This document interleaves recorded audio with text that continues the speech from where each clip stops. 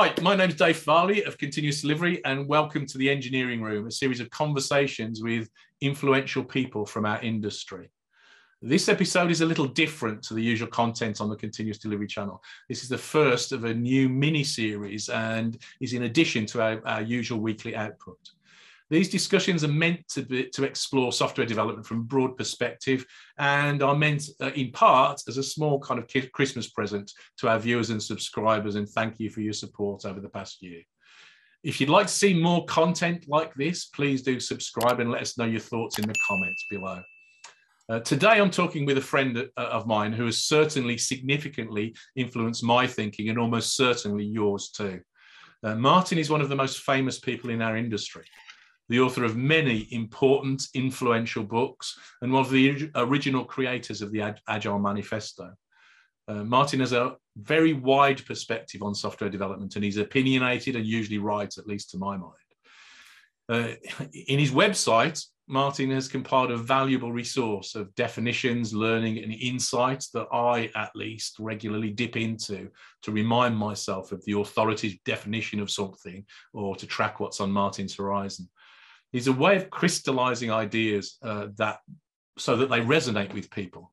Uh, if you've ever refactored your code, used dependency injection, or created a DSL, then you're building on the shoulders of this giant of our industry.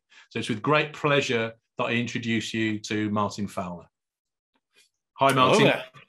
Thank Hi you very much. Thank you very much for joining us. Yeah, happy to uh, see you again. It's been a while it has been a while. Uh, pandemic aside, even before that, it's been a while. yep.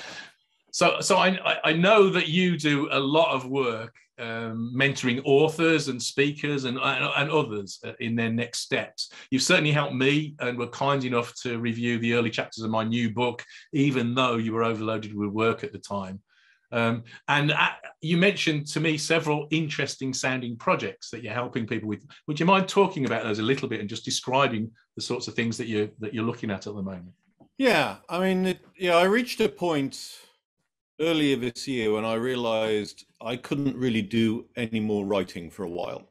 Um, which is kind of a big shock to my system because I've always had a, a, big writing project going on, a book or something that I've been trying to do at. But I realize that I'm actually spending more of my time mentoring other people, and it's better for me to do that because I mean the reality is I haven't been involved directly in a in a sizable software project for a very long time now, and I've got distant, and I could try and change that, but hey, that would be work. Um, so what's easier for me is to work with people who are still connected with the realities of, of the day-to-day software and help them get their ideas out because let's face it, that's basically all I've done anyway. I've never been an original creator of ideas. I've always been a, someone who's looked at what somebody else has come up with, like refactoring. I didn't invent refactoring. I mean, it was other people who developed it, and then I looked at it and saw this is a really useful technique. I think I can explain it well. I'm a good yeah. explainer. So what I'm doing in my book, men- my current mentoring is really trying to help other people with their explanation projects. So I've got three at the moment. Um, three what I would call book length projects that I'm deeply involved in, which is why I didn't have time to add a fourth because it's just too much, uh, as well as various other stuff that's popping on my website as well, uh, sort of old single articles. But the three main book projects are all really quite interesting and, and very different. So the first one I'll start with is um, a colleague of mine in India, Unmesh Joshi, who's been working on a set of patterns around distributed systems. And I mean, it started out really because he felt that, he, that our folks at ThoughtWorks needed a good grounding in what's going on inside distributed systems that we use all the time. Kafka, Cassandra, all of these systems are out there doing quite a lot of about quite sophisticated distributed work. And even though you're not going to build your own messaging system or database, you often need to know a good sense of how they work because without that, you don't know how to utilize them properly. You don't know how to debug problems. I wouldn't necessarily call it mechanical sympathy because you're not getting down to the hardware level, but you yeah. are getting, you do need some sympathy with the underlying platform that you're working with, a kind of platformish sympathy um, to be able to, at you know, times when you need to focus on performance or, or, the way that things are operating. Yeah, I so he's got. Go ahead. Yep. So sorry, I, was, I, was, I, I, didn't mean to interrupt you, but I was I was just going to say I, I, think there are some. Um, I, have characterized the, the, the, kind of the uh, the distributed computing uh, problem as, as kind of our, our version of quant, you know, quantum mechanics. It's you know you take a re, a relatively tiny step uh, in, in your software, and you're in very deep water quite quickly, quite easily if you're not careful. And yes. so there are some principles that that matter a lot to be able to, you know, guide a design to be able to cope with the, the, this explosion of complexity that you buy into as soon as you've got bits of software working on more than one computer in more than one. Yeah, panel. exactly. And so he felt that um, our folks in um, needed to be sort of have a better exposure to that. Particularly, yeah. we hire a lot of people straight out of college and the like, and they don't have enough background in this. So he started setting up some training work, primarily based in in our, our India um, operation, which is pretty sizable these days. Um, and he contacted me, and we developed the idea of trying to pull this first stuff out in terms of patterns, because patterns mm-hmm. are always the technique that I've found very effective to try and explain different solutions you have to problems and be able to choose between them and know how they fit in a context. With yeah. patterns, you don't get a kind of set, you know, do these 10 steps and you lead to happiness. It's more like yeah. here are 20 things you have to consider and you have to navigate between them and choose trade offs between them. Yeah. And the way in which that he's developed this is he's gone into the source code of things like Kafka Cassandra, React, all sorts of distributed systems you know, lots of different languages and figured out exactly how they handle coming up to consensus um, mm-hmm. and things of that kind, and then tried to pull the patterns out. And then we've worked together to help describe those patterns. Yeah. So he's been publishing those on my website over the course of the last year, year and a half, perhaps. That we've been putting them out. We've, we've just got another batch that's going into um, some copy editing review mm-hmm. um, that go into things like Paxos and some of the replicated log stuff behind Raft, and how really complicated two-phase commit can get when you're doing this kind of stuff. Yeah, um, it's some really interesting stuff. The Paxos stuff in particular took quite a bit of mental effort to um, figure out how to understand it, let alone explain it. Yeah. Um, and this, I, I expect, will turn into a book. Um, we haven't sort of lined up publishers or anything yet, but I, am not expecting any problems trying to find someone who'd want to pull this thing, thing through it. And that that's one of them, and that's a very deep technical uh, topic to dive. Yeah, it's, uh, it, it, uh, it's it's a topic that I, I find particularly interesting. Like I, I kind of started working on distributed systems a very long time ago, and to some degree, I think that the technologies have made the problems more difficult because it used to be harder to do it. It used to be harder mm. to, to, get you to, to begin to start to remote make you know interact with things remotely. Now it's so easy and the tooling is so good that makes this a small step that's almost invisible, but you're still buying into all of this complexity. I, I wondered whether you know that's an aspect of, of this that um, I, am certainly not saying that people today are less smart than people a long time ago. It's just that a long time ago you were you you were you were just more exposed to the problem earlier on in the process of making the you know making that step. I think. Yeah, And I mean, I've always argued that the last thing you want is that you want to avoid distribution as much as possible. Yeah, yeah, because yeah, it is such a complexity booster. So yeah. if you can avoid building a distributed system, avoid it, please, yeah. because it's going to yeah. make your life so much easier if you can avoid distribution. Just like concurrency, you can avoid concurrency. Do so, please, because it's going to make things so much better.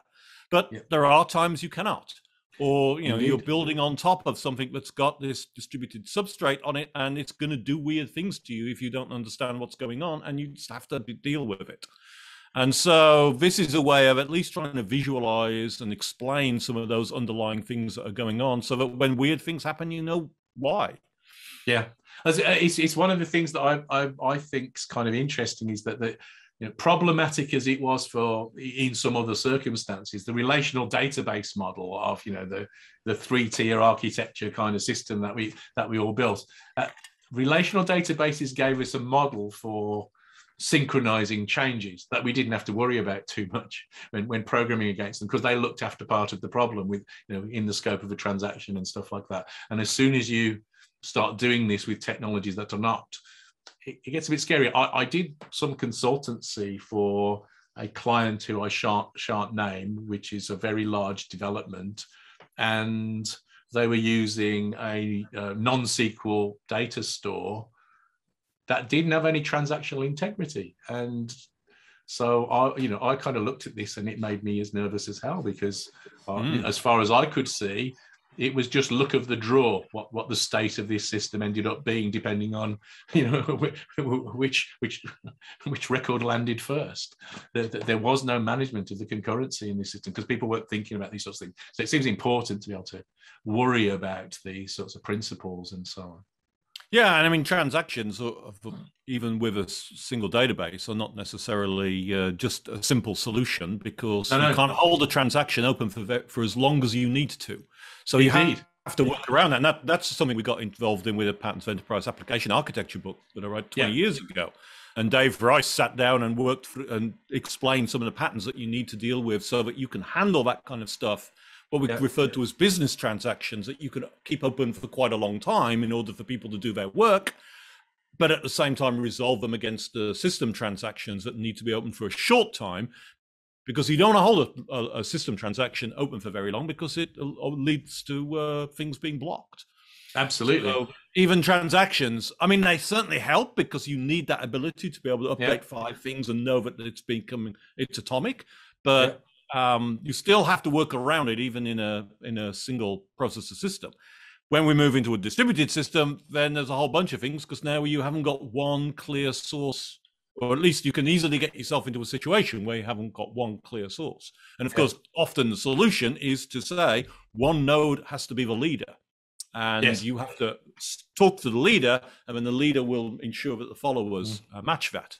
But then, of course, how do you have a leader? What happens when the leader goes down? All that kind of stuff comes into. And play. that's that's when distributed consensus protocols like Paxos and Raft come into come into play. Exactly. yes. yeah. I mean, yeah. that's that's part of that thing, and so it's just been very interesting to dig into that and.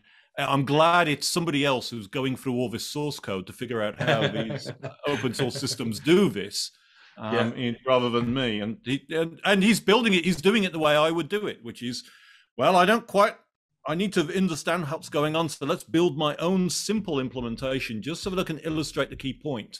Yeah. I'm referring back to the real thing and looking, comparing it to this and using that back and forth. And then using, of course, those code examples uh, to help illustrate and explain um, in the book material.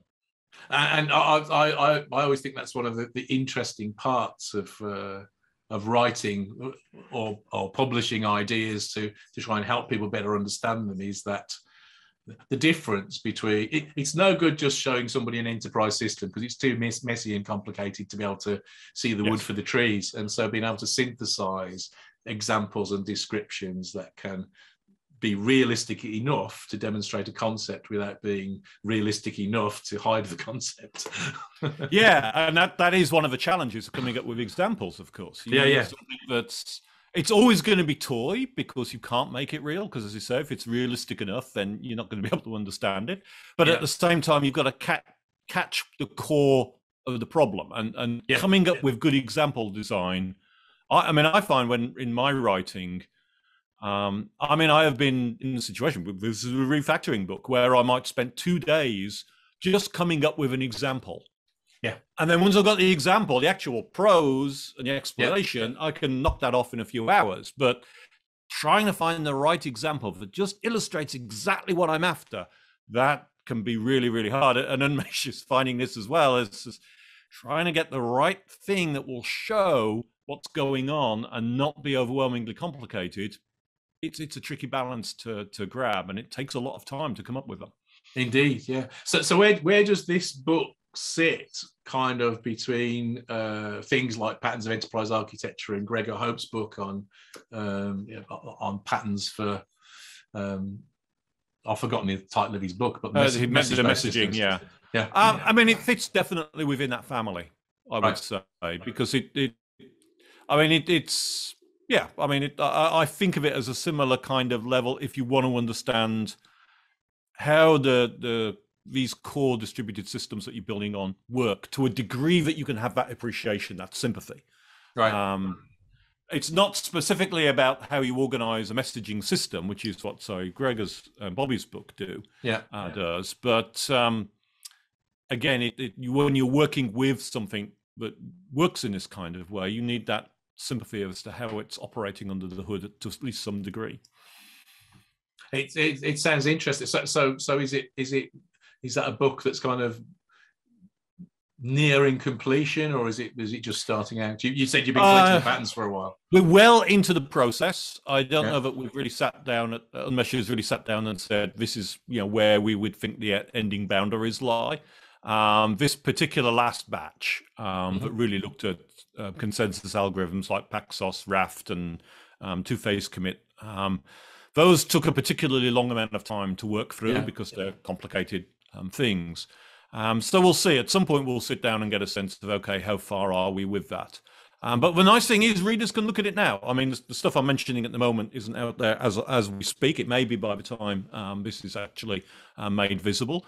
Um, but there is still a lot of stuff here about replicated logs, high watermarks, low watermarks, mm-hmm. Um, and things of that kind. That is a good chunk of material that that's there on the site at the moment. Cool. I, I, one, one of the other I'm, I'm, I'm, where you can use it appropriately. I, I, I, quite like eventual consistency models as well, uh, and and right. kind of the, the, the match between um, drawing the right kind of seams in your problem domain so that the eventual consistency doesn't trip you up.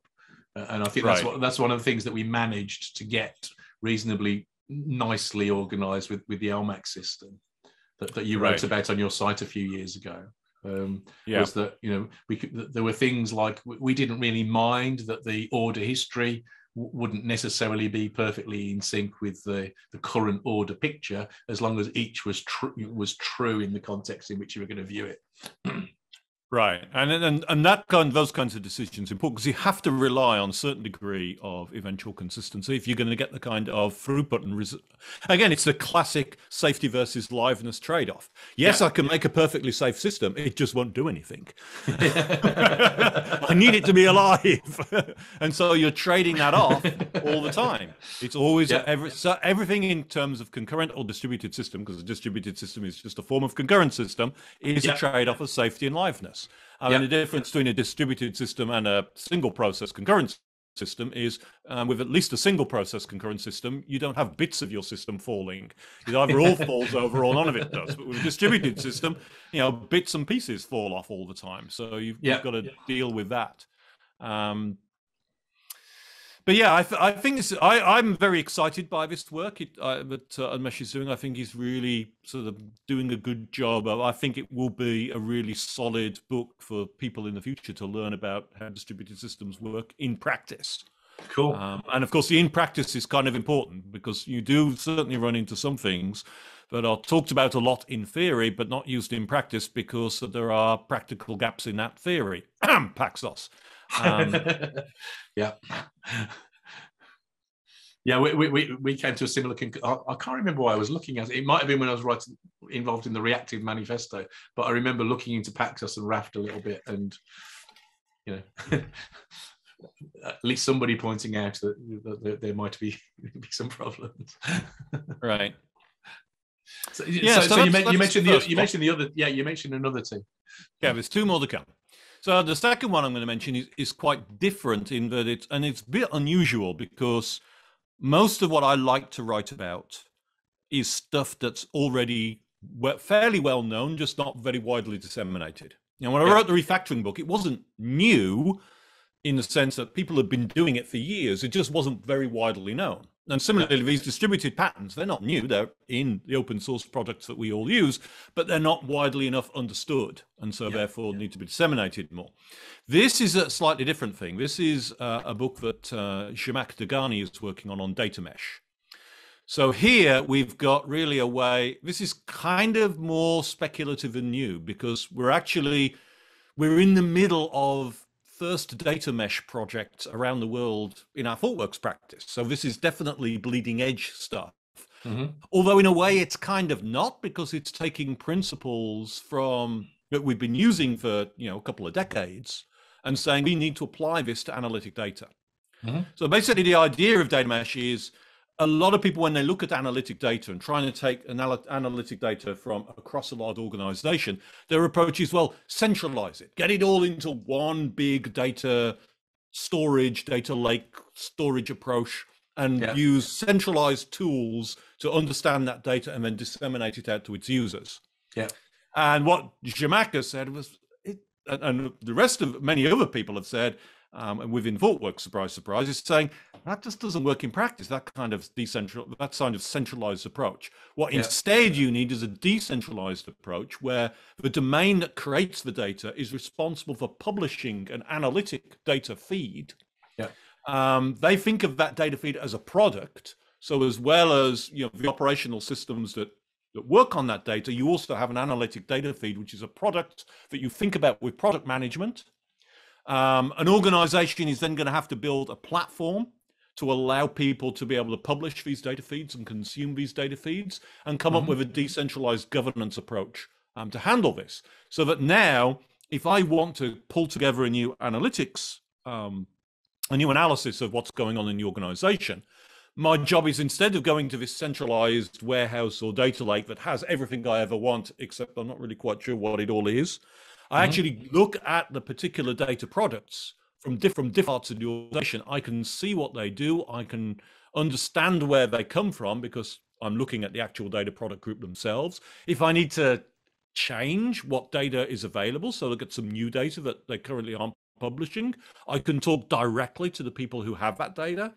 Um, and then I you know, connect up with that. It's a much more decentralized approach um, but is one I feel that is much more realistic to being able to deal with this kind of data because this the throw it all in a big centralized place approach always sort of makes me feel terribly uncomfortable. Mm-hmm. Um, because for start, I mean the modeling problem. I mean, yeah. what is a customer? Go into any large organization and you'll find you can't they, they want to have this single view of what a customer is, a single definition. And you're smiling because you've seen it too, right? It can never work. Yeah. Different yeah. parts of the organization, they will look at customers differently, quite naturally. Yeah. Um, they will have different things that they will class as a customer.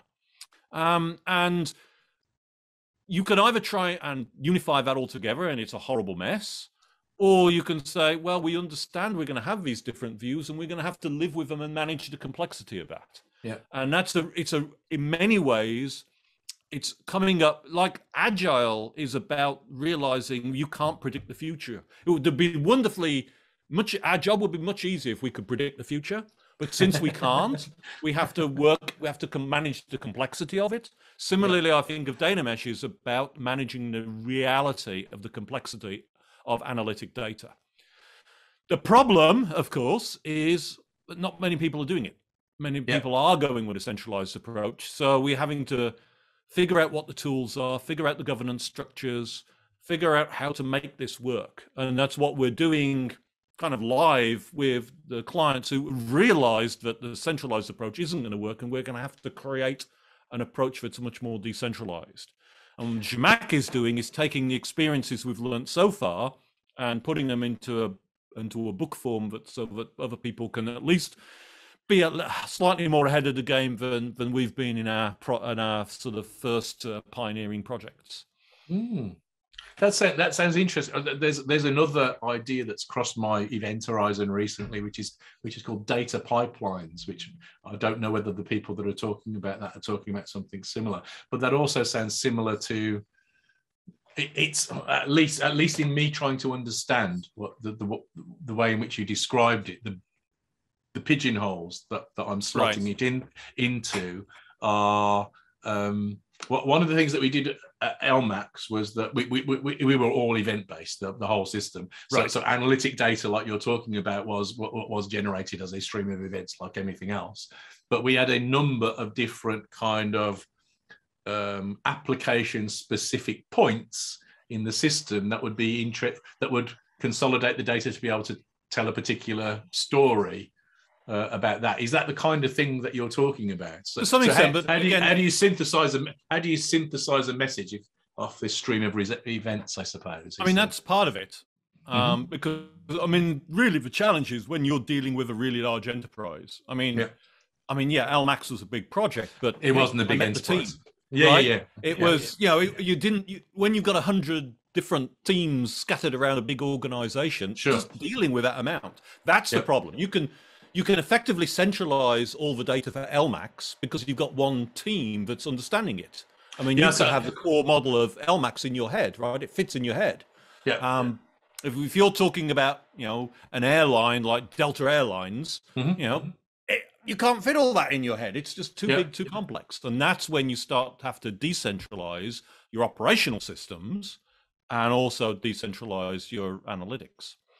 So, so, so, so the bit, the bit that I'm trying, the bit that I'm trying to understand is, so, so absolutely, you're you're, right in, in terms in terms of the um, the difference in the in the scale, but um, the bit that I'm trying to understand is how you tell how, how you tell a story. So, I, I don't know if if you've got a if the output of a particular part of the system is streaming out you know one you know a bunch of orders or something like that you need to at some point you might need other information to synthesize a picture that you're interested in if you're talking about Right. analytics right Yeah. so so so so the bit that i was trying to pull out is so uh, um what i thought that you were saying was that you have these streams you have in in the architecture of the system you have these streams generating this information and then you you, you build a target specific you know a, a focused application on telling you know one particular picture that you're interested in and it it gathers the streams that it's interested in. It it, it paints the picture and does whatever it needs to be able to do to to to pack to consolidate that picture from the different data streams that the streams of events the streams of information that it's interested in. That- yeah, I guess the, the way am I i look at missing the point? the way I look at it is, it, let's say you're um, wanting to do some analysis on data from that's going to pull, pull, pull, require you to grab data from different parts of an organization. Mhm. So you know, again, think of may of an airline. Part of it, information I need is from customer, Yeah. um, tying into customers. Some of it is perhaps from operations of the airline. Um, and how where do I go about to do that? So in a Mhm. centralized approach, there would somewhere be a centralized data lake that would have all of this information of customer and operations stuff, yeah you know, as you know, whatever form it happens to be in, but a big Mhm. place in which I just go to that one-stop shop, as it were, and grab it. yeah But the trouble is, do I really know where that data's come from? How is that data organized? Um, again, when we've got different views of what a customer is or what a flight might is, Mhm. um, it's it's difficult to tie these things together. Mhm. So, in a data lake view of the world, instead of having this one big place you go to, you will go to the individual business units themselves. They will publish the data about what their business unit does as a data product right and they will document that data product. They'll have some degree of product thinking that goes to how to deal with that product. You'll be able to understand where that data is coming from because it's going from with the organization that created that data. Mhm. So you're going to have to go out and use the platform to find where those data products are and pull them together. yeah yeah So, but the point is the management. You're not getting this centralized management approach. Yeah, yeah, sure. centralized consolidation.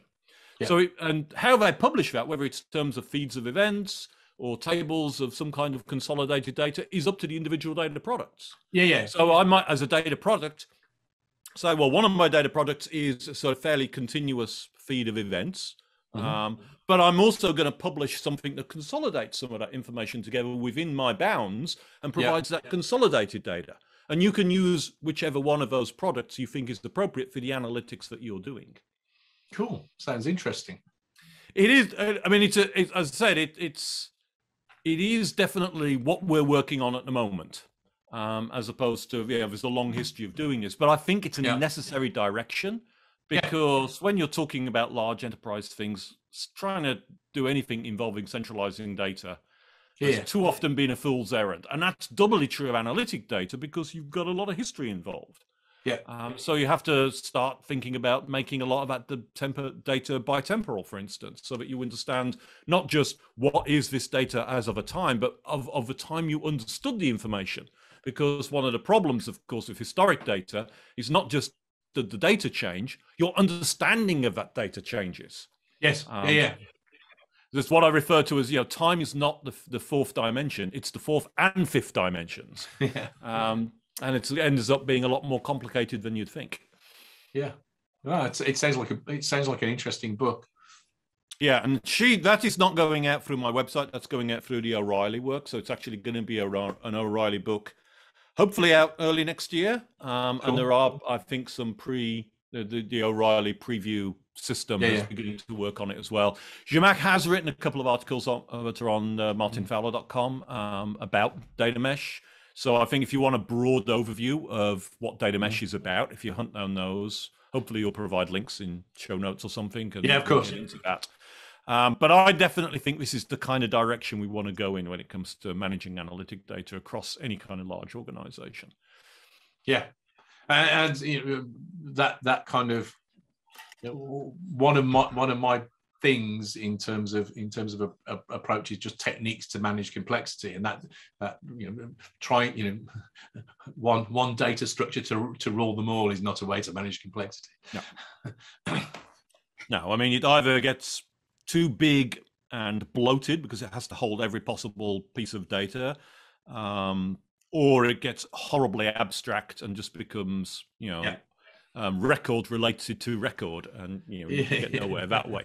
Um, so you're always trapped when you deal with these things. And this, this I think, was one of the big things that I think that really came out of Eric Evans's work in domain-driven design, and the notion that you have to think of any large organization in terms of multiple bounded contexts. Yeah. Understand each context individually and how it relates to its neighbors. Yeah. Um, and build that up. And in fact, that's very much what data mesh builds on. It says mm-hmm. you're going to have these bounded contexts and you have to think of it in terms of bounded context. So another way of thinking about it, it's thinking about it's basically applying the ideas of domain driven design, strategic design thinking yeah. to analytic data. Yeah, um, yeah. That, that, that was what that was precisely what was going through my head when you were describing it. Good. And so I, I had um, I had a, I had an interesting conversation with Eric a few weeks ago. We were talking we were talking about something else. We were talking about um, microservices um, architectures, and he made an observation that clicked with me that I liked, which was that the the protocol of exchange of information between the services is a distinct bounded context. It, mm. It's it's not not the same uh, as the, yep. the, the, the, the context that the the services represent. Um, and, and, there's not there's not one that's shared between all the services. That there, there are multiple ones in, in different conversations. But uh, but I, I, this is similar. This this is a separate yep. kind of context in which and has separate needs, no doubt. I would imagine. Yeah. Yes. Um, very much so. Um, I suddenly triggered a point. Uh, something left. Yeah, there's actually it, it was the point that uh, there's an article currently being worked on. Again, may have been published by the time this is uh, visible by uh, Brandon Byers, who's again one of my colleagues here in in North America, and he talks about the fact that when people do these architecture charts, they put a lot of emphasis on the blobs, mm-hmm. but often the hard part is the lines connecting the blobs, integration. and how into a lot of companies think oh, integration is some kind of simple thing, um, but it's actually not, as, as, we know, it isn't. And also, the, his point is it's not something you can buy. You can buy the blobs, but you have yeah. to build the lines yourself. Yeah. And building those lines is not easy. Yeah. And it is actually often a part of a critical part of a, an organization's competitive advantage is if you're able to do integration better than your competitors, um, it can really give you a noticeable edge. Yes. Um, and so I, I, I, was very uh, taken with uh, what he's um, saying in that article. Um, so mm. uh, hopefully that will be published in the next few weeks. Cool. And the third book in your list? The third book. So the third book is sort of back to stuff that we know and have known for a long time um, in a really interesting way. So um, this is a collaboration between um, at least two of these folks you'll know, James Lewis and Ian Cartwright. Um, yeah. you, and Rob Horn's the third guy who is newer to ThoughtWorks, so you probably haven't come across him. And they're working on uh, patterns of legacy displacement. How do we displace legacy systems in a more mm-hmm. sane way? And of course, a lot of this is about fighting against the, oh, well, let's spend five years building a replacement system and then we'll switch it over because we know yeah. how well that works. um, and but the thing is, we haven't in all of the years, I mean, I've been in software business for 30 years or so. During that whole time, replacing legacy systems has been a major part of our work. Mm-hmm. And yet there's not been very much written about it and not much yeah. understanding of how do we think about legacy replacements yeah. in an effective yeah. way. And so what we're trying to do with this book project is capture that information again in the form of patterns. Yeah. Um, so and you know because these folks have done a lot of uh, legacy replacement, of course, mm-hmm. because that's so, such a large part parcel of our work, and they're trying to get that information down and in place. And so I'm really keen about this project because I think it's going to help a great deal to our understanding of how we best go about this exercise, which is just not talked about enough mm-hmm. um, in our industry, and and yet it's such a central part. And it's not as if it's going to stop. You know, as I started to say, we're building tomorrow's legacy systems today, um, and if we can better understand how we displace them, then we can build better now, but we can also get through a better approach of understanding that. And of course, the key to this is gradual process. Mm-hmm. You know, you don't re- displace a legacy system all in one go. You do yeah. it over time. It may involve creating transitional pieces of software that you know you're going to throw away yeah. Um, in a year or two's time, but it's going to ease the process of that legacy change because it's a constant um, process. And so it's this is early days. Um, they dropped their first bunch of patterns onto uh, the website um, a few mm-hmm. months ago. Um, at the moment, we've got a second batch kind of the um, that's sent out to our internal review list on, on the, the, infamous ThoughtWorks software dev mailing list, which yep. um, everything has to go through. Um, so again, probably by the time uh, this goes out, that second batch will be out there and I'm really hoping this can turn into an important book as well because I think they've they've got the knowledge, um, yeah, yeah. they've got the desire, I think, to get this information out. The challenge, of course, as for any ThoughtWorks consultant, is finding the time to sit and write. But we're working yeah, on that. I think this could be a really good book. Cool.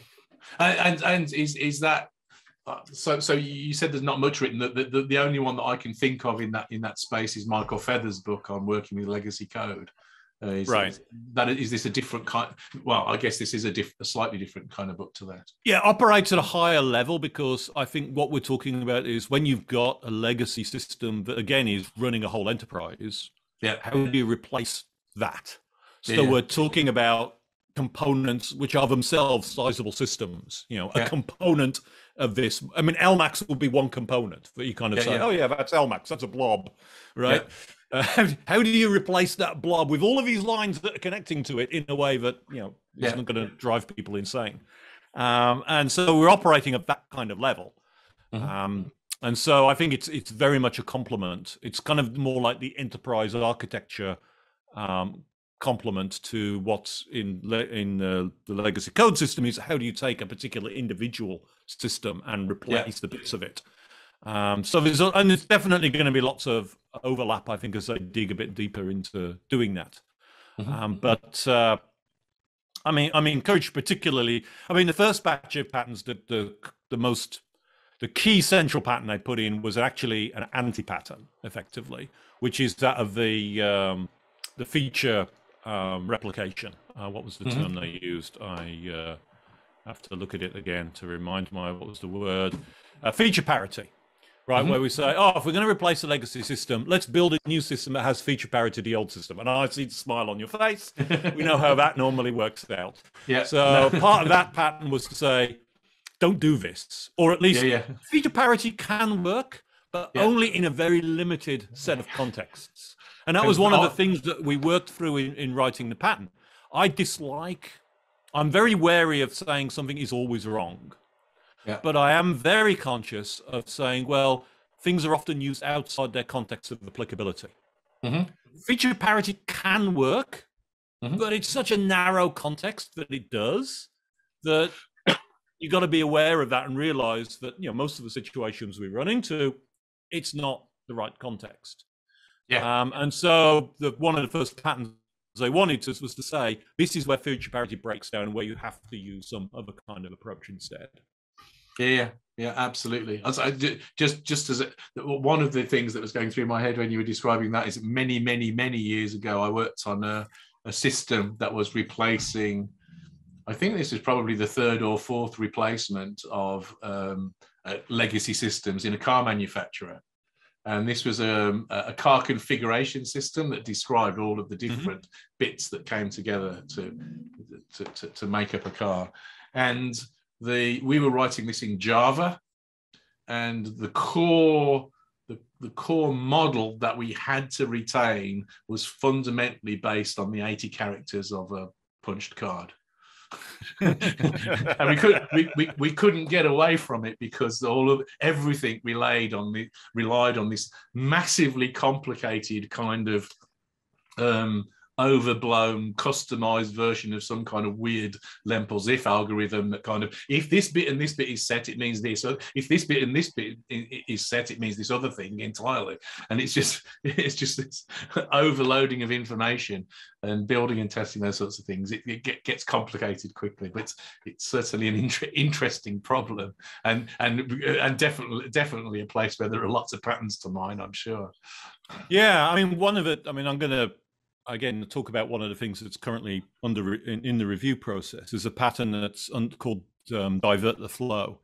Um, and this is a very interesting pattern. The, the core heart of it is actually in another pattern.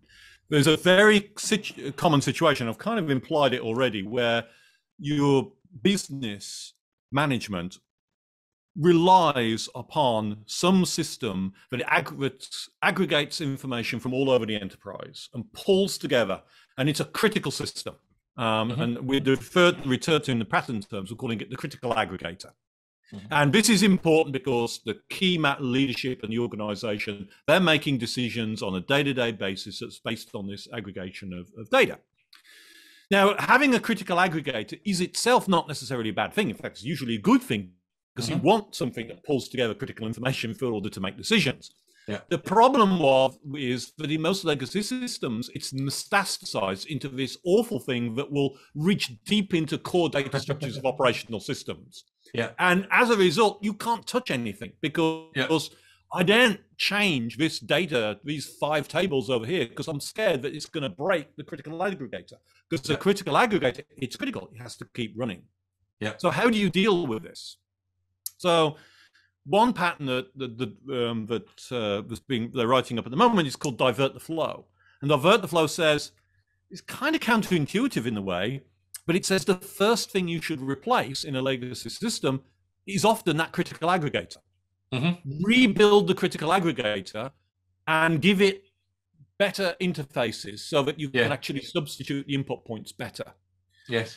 Um, the, the alternative is basically when you is replacing the, the upstream systems but creating a legacy mimic that sort of looks mm-hmm. like the old system so the aggregator can still work. Because usually the problem with the legacy aggregator is you can't replace its connections because they're just so deeply entwined in. So you have to pretend the old systems are still there with your new ones.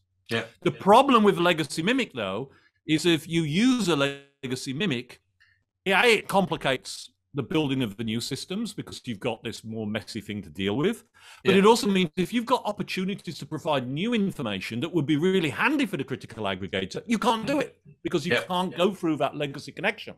Well, if you replace the critical aggregator first, A, it gives you greater safety in replacing other parts of the system because you've got a much more sane um, tie to the critical aggregator.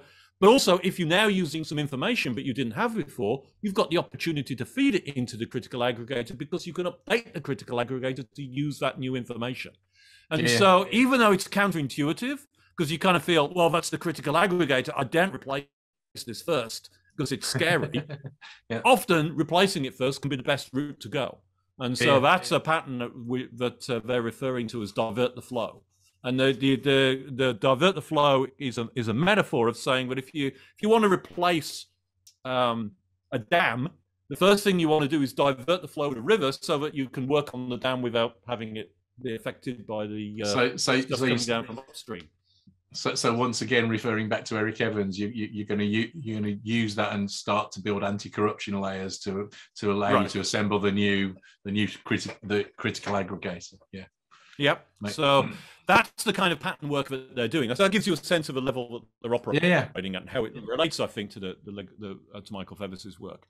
Yeah. Um, and I'm I'm very keen on seeing how this kind of stuff develops because this is definitely stuff we've done many times with our clients over the years. And often the challenge is getting people to understand the trade offs involved because the trade offs are um, often not straightforward because people do come into this in the sense of, oh, let's just go for feature parity and move it yeah. to the cloud. Yeah. Um, and we go, no, that's probably not what you really want to do.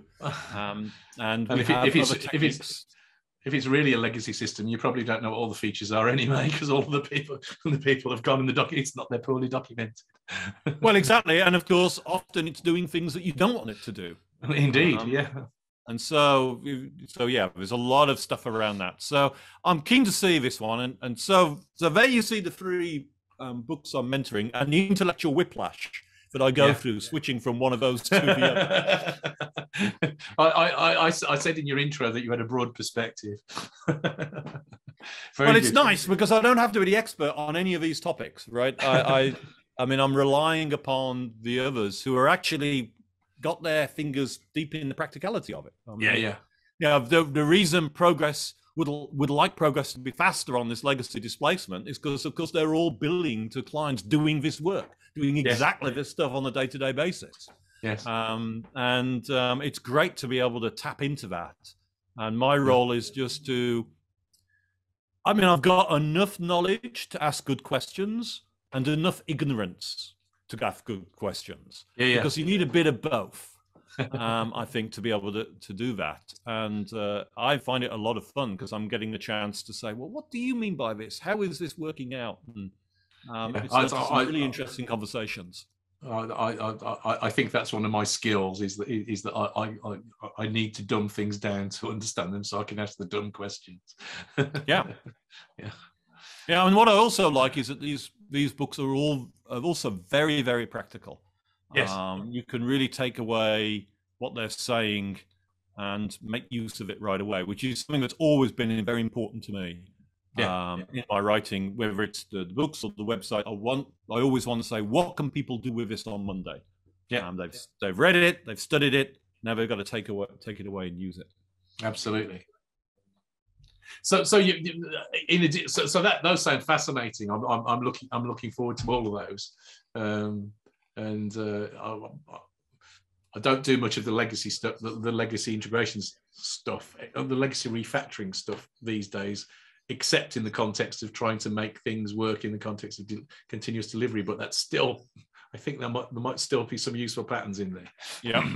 Oh yeah. Um, so in, ad- in addition to this, I, I, I remember uh, a year or two ago, you also did an awful lot of work on assembling patterns around different branching strategies. Uh, and we were yep. talking about, and that's a topic that's kind of, I have some interest in and get some so argumentative feedback on, on, on this channel from time to time. One of the oh, content yeah. I, would like to talk to you about that in a slightly uh, interesting, well, I think a slightly different way, rather than just going through the patterns themselves. I think I might be a bit more opinionated in, on this topic than you, and you've already touched on your approach to these things. Is that you don't like to say that people are wrong. You want to talk about these ideas in the in a broad context. Um, where where do you see the balance between, for want of a better term, kind of cataloging patterns and making recommendations? Because at some point you're going to have you're going to be you know expending some your critical faculties on deciding whether this is a matter of advice and you don't want to be advising people to do things that you think are are really bad advice that are bad ideas so how, how do you figure out how to draw that line. Is it is it there's got to be some context in which you can picture that it works or or you know how, how, how do you figure out where where where you know how to do that? Well I mean, part of me is is it's a sense of a sympathy with where people are and have been. I, i'm one of my big sort of non-software things I do is I read a lot of history. Mm-hmm. Um, reading history is always, and, and I've always maintained that if you want to understand why things are the way they are, it's good to understand the history. Because um, I, I, remember those criticisms when I wrote UML Distilled that I had a little bit at the beginning of the book, which is here's the history of, of object modeling. Mm-hmm. But in order to understand the UML, you had to understand the history that led to it, because otherwise all, sorts of decisions didn't make sense. But then when you saw the history, you go, oh, I see now that makes sense as to where it is. Um, and it's like that with legacy systems. I said, well, people did this for a reason. It wasn't necessarily because they were being stupid. They often had mm-hmm. good reasons, but circumstances changed since. Yes. Um, and so if we can understand and have sympathy for where they were, um, a friend, uh, one of my colleagues, I can't remember who now, sort of referred to as it's, it's, I think it was, you know, I can't remember who it was, who said we got to, we got to think of it in terms of compassionate coding, have compassion for where people were as they made their choices, and understand that we can get a better sense of where trade-offs come. And part of my thinking here is that when we see patterns out there that look awful, like the critical aggregator, mm-hmm. um, it's often there's a good something good there. It's just been taken out of context, or it's been you or been implemented badly, or something of that kind. And this is particularly the case when it comes to branching. I mean, the I mean, we battle, and you and I both battle against the sort of pervasive use of large-scale feature branching and yeah. pull requests and the like. But it actually comes from a good place. I mean, if you're running an open source project, the feature branch model, where you've got you know, people who are contributing to the project who you don't know terribly well. They're operating on a very low duty cycle in the sense that, you know, they're not working full time on your project. They're working maybe, you know, yeah. half a day a week or something. In that kind of world, feature branching makes oodles of sense. It's an extremely yes. effective strategy. Yes. But yes. the context, again, patterns are interesting because they talk about context. Mm-hmm. A pattern that is a good uh, is a good thing to use in one context becomes questionable when you move it to another context. So you take the pattern of feature branching, you move it to the context of a team that's working full time. There's half, there's half a dozen of you or a dozen of you. Um, suddenly your context's different. Then suddenly feature branching becomes less apparent as you begin to realize, oh, now I get slowed down because I do feature branching because I can't refactor effectively. Yes. And particularly when you begin to employ other techniques such as self-testing code that allows you to be much more confident about detecting breakages than you would be otherwise, suddenly other patterns um, become appealing. Mm-hmm. Um, and I mean, a large part of me writing the branching patterns was because I understand the value of feature branching in its context where it comes from. Yeah. And trying to say, okay, so why is it that there's this sadly minority, it seems, of people who are saying, no, no, no, no, no, we've got this better tool called continuous integration. We should be doing that instead in many yeah. in many contexts that we come into. Yeah. And wanted to really explore that without necessarily saying, well, feature branching is evil and we should never use it any any other time, because yeah. it's not that situation. It's a situation of understanding your context and your trade-offs. And at the heart, of, in my mind, of it is this issue of integration frequency. Mm-hmm. If you can increase your integration frequency, you get a huge amount of benefits mm-hmm. because you're able to to um, refactor. In particularly, you're able to refactor more frequently, and therefore keep your code in a healthier state. Yeah. So, how do you improve your integration frequency? Well, you've got to you know integrate more often, obviously. Yeah. Yeah. Um, feature branching has this notion of saying I can only integrate once my feature is complete.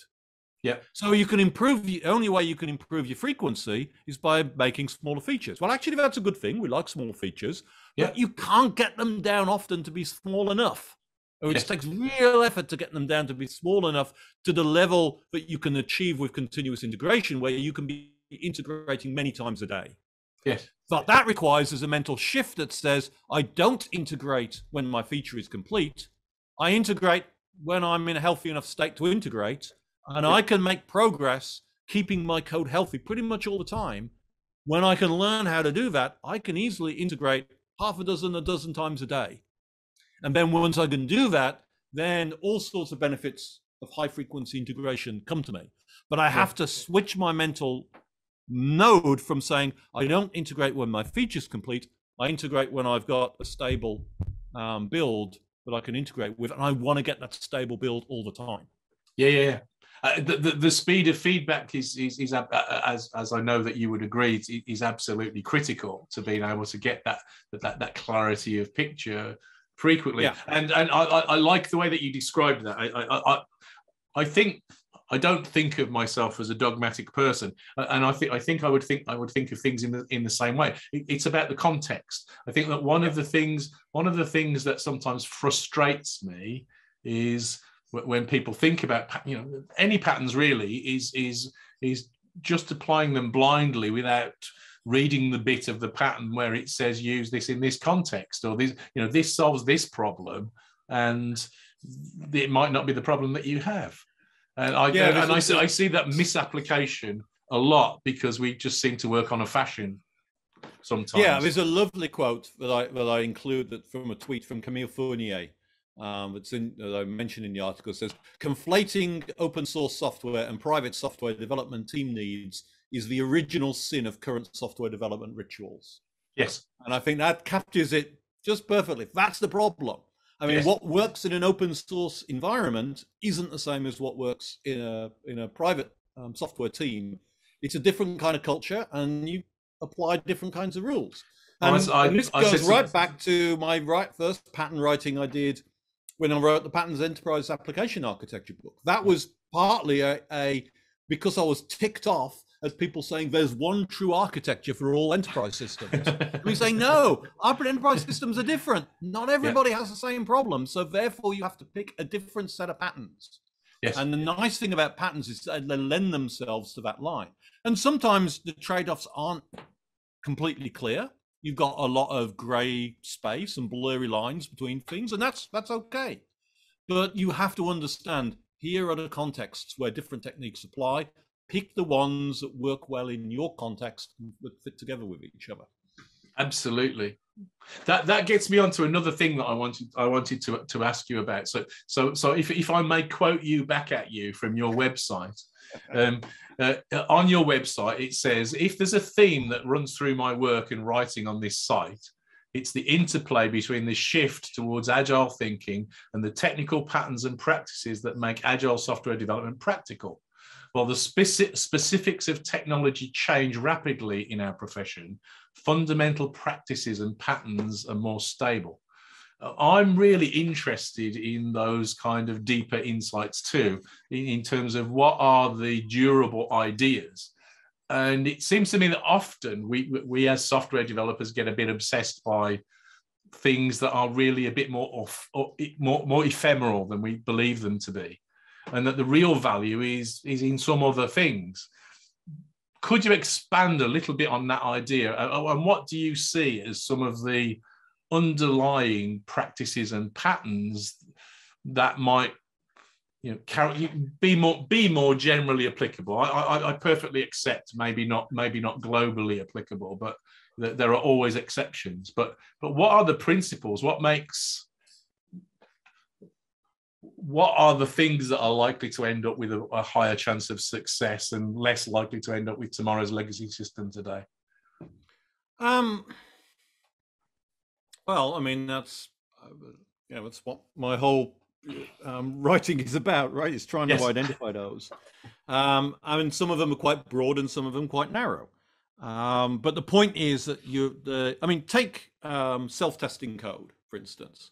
So I, I, use, I like to use the term self-testing code as opposed to test-driven development, um, because test-driven development is a technique I love. I really like using it a lot it's but to me the the core thing that I want is this self-testing code ability, which is I want to be able to be able to throw a command at the system and say test yourself, and it comes back, and if it comes back green, I know okay, I'm okay. The change I just made, I didn't break anything. Now, if I build the system using test-driven development, I'll get there, and test-driven development will also help me with the design process as well. So it's a great technique. But the key output to me is having that self-testing code. And there are other ways to get that as well, but most of which are, are not as good as TDD. But it's self-testing code's the key. Mm-hmm. So for me, that's a, a, great technique that I can use any almost anywhere. Right? And I've I've used that technique in you know you'd use it in in Smalltalk, you use it in Java, you use it in JavaScript, all sorts of different languages. You have to make sure you get the tools to help you do that. Mm-hmm. Um, and fortunately, particularly after the rise of JUnit, people realized what that actually it wasn't that difficult to build tools that would help you build self-testing code. Yeah. And so you see JUnit ports and clones um, to all over the place. And of course, JUnit itself was a port of an original Smalltalk um, library. Yeah. Um, and so that's a, an example of that kind of fundamental notion that says um, if you understand the importance of self-testing code, whenever you go to a new environment, the first thing you want to do is figure out how can I get my self-testing setup going? Mm-hmm. How do I get that situation where I get that logical green bar that tells me, uh, okay, the change I just made, I didn't break anything. Mm-hmm. Um, and so, so that's an example of one of those fundamental principles that to me transcends the technology that you're working in. And when you're in a technology where it's difficult, like UI technology often has that, then another principle comes to mind, which is the humble object, which says if I've got something that's difficult to test, let's get every piece of behavior I possibly can out of that object into a separate object that I can test easily. Yeah. And then I can, you know, t- relax with my green bar again. Yeah. So that's another technique, and you use it with um, UI technology, but often also with distributed systems, um, remote interactions. You immediately say, okay, I want to make a really simple gateway object that doesn't do very much so that I can test everything else mm-hmm. and keep everything else under test. Um, and so that, again, the humble object, a great um, basic um, idea that once you know it, you can use it in a whole host of different places. Those are the things I, I'm after, whether they're very big, like self-testing code in terms of scope, or very small, like humble object, which is just a simple piece of how you get that kind of thing to work.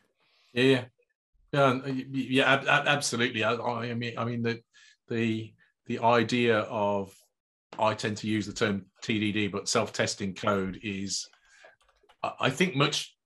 It has deeper implications than than people who don't practice it realize very often. Right. I think and you know what, what as you say you know you get that surety that yes my code does what i think it works but it also it's also the the, the shortest route to getting feedback on the quality of my design that i know right.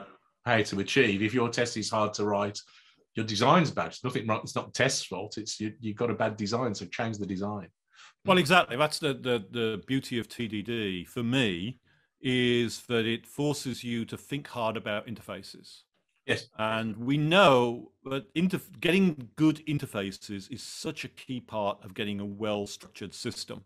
Yes. Because if you can get your interfaces working well, then that makes your code clear and understandable, makes it easier to change. Um, and also, you know, I, I can deal with a certain amount of mess in the implementation details. I'd rather not, but I can deal with it if it's contained and encapsulated behind good, clear interfaces. Yeah. But it's hard. It's hard to come up with good interface. It's hard to learn how to do that as a as a developer. Yeah. And TDD's great strength is it kind of forces you to think about interface, get I, interface, and test it if you'll forgive me advertising my book for a minute, mm, um, I, I, I, I, I, went I went through an exercise. I wanted to demonstrate some some unpleasant code. I wanted to demonstrate some some some problems in in the code, and so I started writing this example as we were talking about earlier on, and trying to come up with an example. And I started where I always start. I started doing test-driven development, and I couldn't. I couldn't write code as bad as I wanted it to be and do test-driven development. So I had to stop writing the tests and write the code as you know. I felt like a time traveled back 20 or 30 years. It was just really just crazy. Um, and so I, I, think I think that's you know that's a deeply undervalued um, practice. It, it's one of those things when I first when when the light bulb went off over my head and I first practiced test driven development, I thought, oh, this is going to take over the world. I, I was wrong twice. I thought that I thought that object orientation was going to take over the world when I, the light bulb went over my head when I learned that too, and, and neither of those has quite quite taken over the world in the way that I expected. Um, but uh, but I still I, I still think I, I, don't want to work in a, a team ever again that doesn't do test driven development really, hmm. you know, uh, day to day because I think that's much by far the most effective practice that's probably surfaced during my time as a software developer. Yeah, I mean, and I'm with you. If I was working, if I was doing real work again and having to write software on a team for a living, I would definitely use TDD. Yeah, yeah. Um, the software I do write is just uh, my toolchain for my website, um, and I don't use as much TDD on there as um, you would need to because um, because it's just producing output. So yes. half the time I'm I, I, don't have an expected value because I'm writing the code and looking looking at the screen saying is that okay, and also I have the perfect um, regression test suite because I just build the entire website and diff it against one that I know is good, um, which is a very crude regression test, but it works very well. but but then occasionally I'll come into situations where there is some more complicated behavior involved. And then, yes, I do have a bunch of unit tests to handle those because, and I sometimes use TDD to do that. Yes. Um, but again, it's knowing when to apply it in the right kind of circumstance. And once, you know, for most of the kind of commercial software that we work on at ThoughtWorks, TDD is, is an essential. And yeah. Uh, yeah. one of the nice things about this is I'm in a new, I'm you know living in an organization where things like TDD and continuous integration uh, are seen as a normal way of practice. Yes. And that's to do with not so much me, but all of the leaders, you know, people like Brandon, uh, people like Erik Dörnenburg, um, people like Unmesh who carry that leadership through across the organization because they've come to the same conclusion that you and I have, that yes. that's how we find find ourselves most effective and um, we just have to see how that spreads across the rest of the industry. I mean, it, in some ways, it's moved faster than, than I thought it would actually, mm-hmm. um, because I know how long it takes for ideas to propagate. So, yes, it's depressing because you'd like to think that it could have been a bit more widely used, and particularly the way in which so many people are taking on agile and completely forgetting these technical practices that actually are the underpinnings to make it work effectively. Yeah. Um, but um, but as I said, I mean, these things do take a long time to to work through, particularly when we're in a profession that can't really measure our output and productivity effectively. Um, and when you can't do that, it makes it much harder to to to effectively use the scientific method on ourselves. Yes. Because you know, if you can't measure your outputs, then it's very hard to tell whether one thing's better than another. Well, that, that that's that.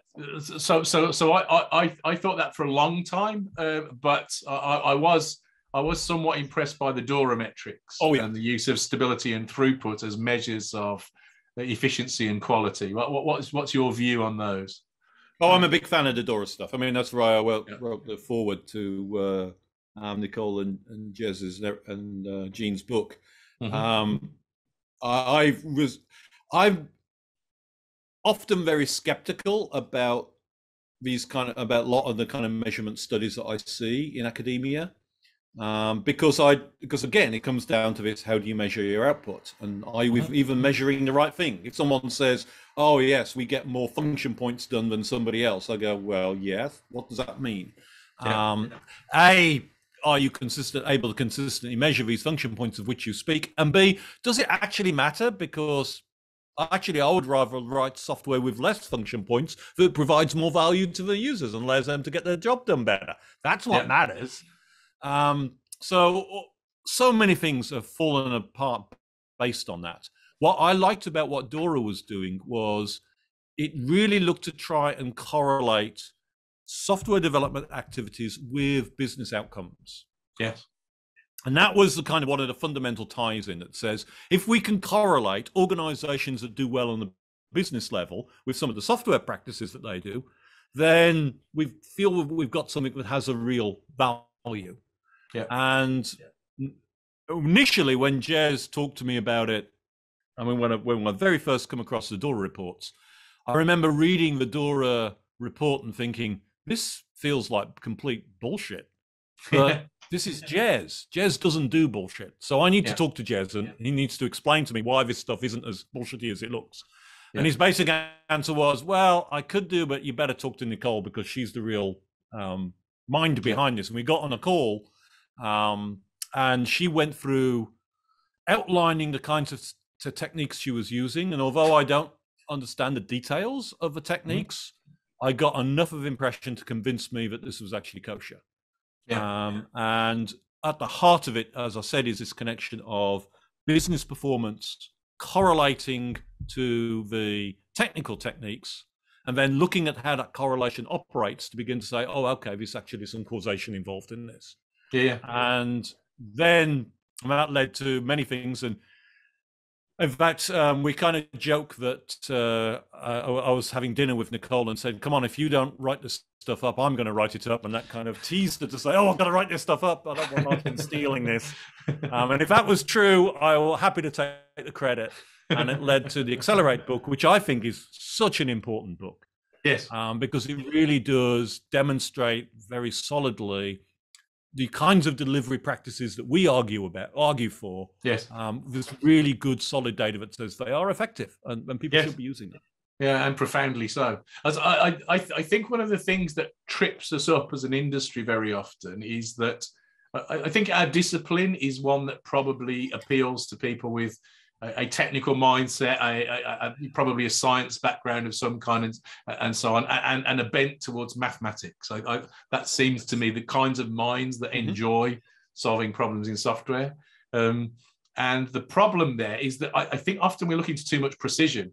And what we're talking about here is sociology, and sociology is not the same as physics. It's not it's right. not hard maths. You can't prove it. It's hard to carry out experiments with genuine controls. And so you have to take different techniques. But Nicole uh, has applied those techniques diligently. This is genuine science in the, mm. at least at the level of sociology, um, uh, and, and able to come, come up with this predictive model, this correlative model of, of the ways in which certain behaviors lead to certain outcomes, certain outcomes are predicted by by those behaviors and all, all, that kind of stuff. And that's a tool that we haven't had before, really, yeah. with, with, with the same level of rigor.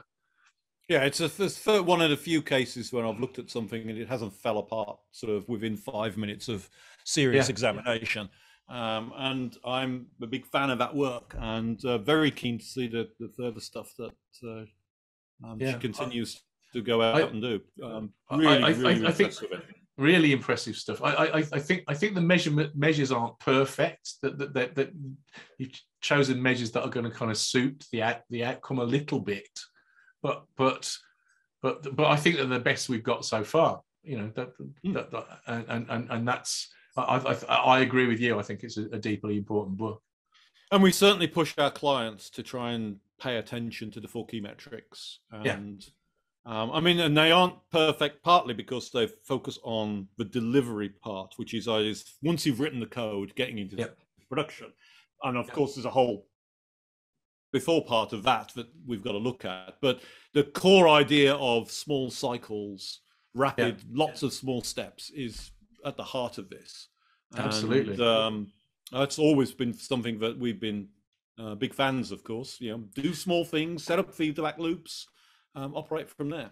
I, I, I, came up with a nice analogy recently. I, I well, uh, I actually wrote it in my book, but but it's it, it's it's like it, it's like the importance of feedback really, and the way that mm. it hmm. drives nearly everything is that you know if we if we're tasked with balancing a broom, could, we could calculate the center of mass of the broom and the little dome on the handle of the broom and precisely position it so that the center of mass, the line from the center of mass passes through the point of contact on the table and there's no impulse on the broom. And there's one answer to that problem, essentially. Or we can put the broom on our hand and we can move our hand around. And the, the rate at which we gather feedback and react means that we can either move our hand really small or, or make, make big moves. But you know, that's how space rockets work. This is not, this is not, this is not lower quality this is the right. most effective strategy to dealing with change and problems. And, and yes. optimizing for that fast feedback is seems to me fundamental and essential. It's the tool that I use in my clients to to guide them towards better practice, and it works. Yeah, this is the metaphor of uh, of that uh, the prag- pragmatic programmers, um, Dave Thomas and Andy Hunt came at when they talked about um, tracer bullets. You know, if you want to shoot at a target, you can carefully calculate absolutely everything to get your absolute shot there. Yeah. But yeah. often the best way is to just fire a lot of shots and have tracer bullets that show what's going on, and you'll yeah. get there quicker. Yeah. Um, as long as your bullets are cheap, yeah. that works. And of course, there, there again, we talk about context. Yeah. Um, different contexts require different approaches. Um, but in software, our bullets are cheap. It's very yeah. easy to come up with new versions of software. We can write software really quickly, so yes. we can afford to go that kind of direction. Yes. Now, not all software in that case. Uh, there is certain situations in safety critical software or software that can't easily be updated, like software you put in a, uh, a space probe, for instance. It's going mm-hmm. off to the outer planets of the solar system. Eh, then it, it you know, continuous delivery gets a bit tricky under those circumstances, and you have to think differently. It's it's that's one of the that's one of the areas where I, I think I, I I slightly disagree in that I think that working so that your software is always releasable, even if you don't release your space probe all of the Oh yeah, absolutely. I mean, it's absolutely yes. you know fundamental. That's why I said continuous delivery, right? Not uh, well, okay. I should have said continuous deployment. Yeah, yeah. But the point is that um, you know, you you understand when I'm talking about the traceability in that context. I am looking very broadly in terms of getting it into production, yeah, yeah. getting the feedback loop from there because yeah. that with commercial systems that's what you want you want to get your stuff out there people using it telling you why it's not effective yeah. either directly or indirectly and then modifying and improving you can't do that with a space probe um, yeah. because the feedback loops can't be set up to be fast enough yeah, yeah. Um, in so, deployment. But that doesn't stop you doing continuous delivery, as you point out, because yeah, as you're building something, you can still set up a test environment and go through that same process. Yeah, and and and do a lot in simulation. Yes. Uh, so, so I, am working with several suppliers of medical devices of various kinds yeah. at the moment, which are safety critical.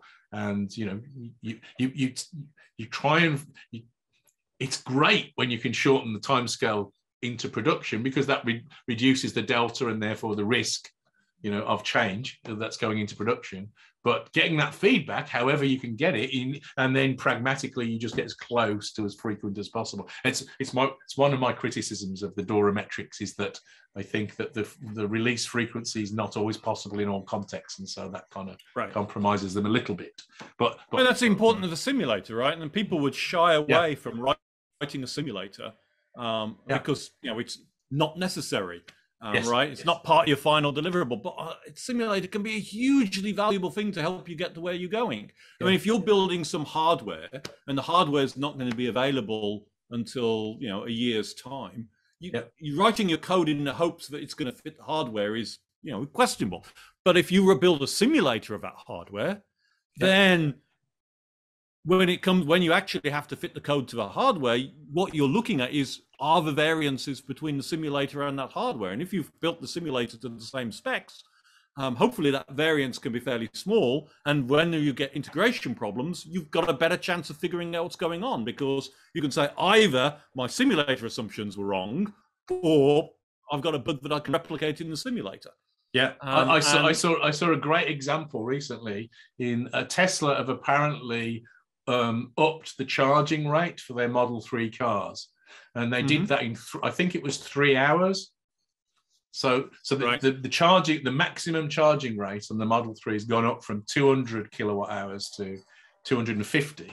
And they did that right. in three hours because it's test driven development, the, the car, and they ran it through the simulator, it passed, and so it went onto the production line three hours later in the right. car you know yep. so so you know I, I, think i think i think there's some i i think that when we're talking about continuous delivery that we're really talking about genuine software engineering principles and i think yes. i think that's you know that's why this stuff works yeah absolutely I, I think i think that our time is up and i would like to thank you for the fascinating conversation and exploration of all of these these topics. And thank you for for agreeing to to, to join us today. Um, let me say thank you to our viewers. So, so uh, as I said, this is the first in a, a, short series in the lead up to the end of the year.